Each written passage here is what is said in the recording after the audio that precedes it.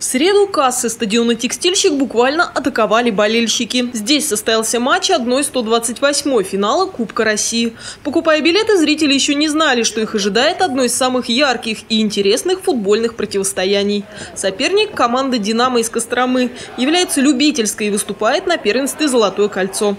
Болельщики, ожидавшие легкой победы над полупрофессионалами, ошибались. По сложившейся традиции счет был открыт уже на первых минутах матча.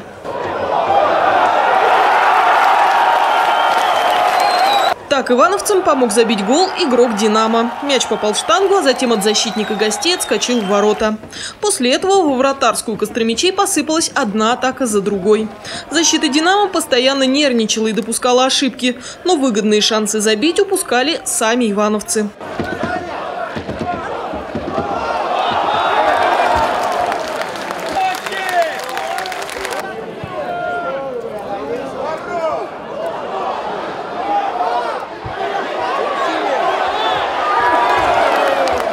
По ходу второго тайма вместе с погодой ухудшалось и настроение приехавших поддержать своих болельщиков «Динамо». Помощь гостям пришла откуда не ждали. Буквально за минуту до финального свистка судья назначил опасный штрафной у наших ворот.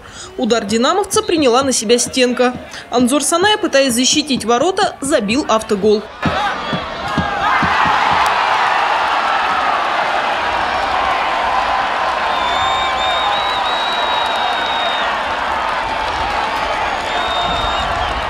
Первые дополнительные 15 минут прошли в спокойной борьбе.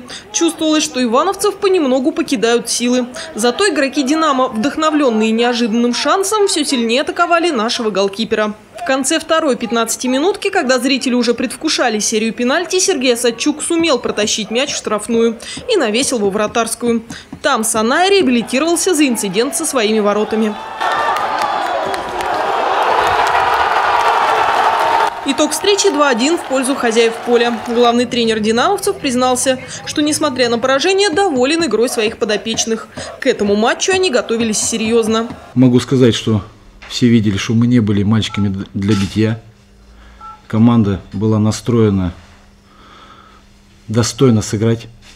Ну, текстильщик, могу так вам сказать, что я смотрел три игры в Долгопрудном и две в Иваново. Мне очень понравилось.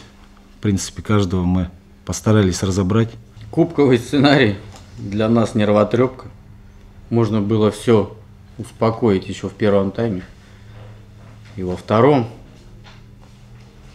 Видите, пенальти не забили, все перевернулось, затрясло. Хотя не должно, не должно. Надо и такие матчи доводить до победы спокойно и идти в раздевалку. Но тем не менее, это заслуга, наверное, соперника, который сегодня наверное, все силы свои отдал. За последние 20 дней для текстильщика это была уже шестая игра. Сейчас у ребят будет шанс передохнуть от турнирной нервотрепки и потренироваться. Следующий кубковый матч красно-черные проведут на выезде в подмосковных Химках. Наталья Романова, Андрей Семиволков, РТВ Иванова.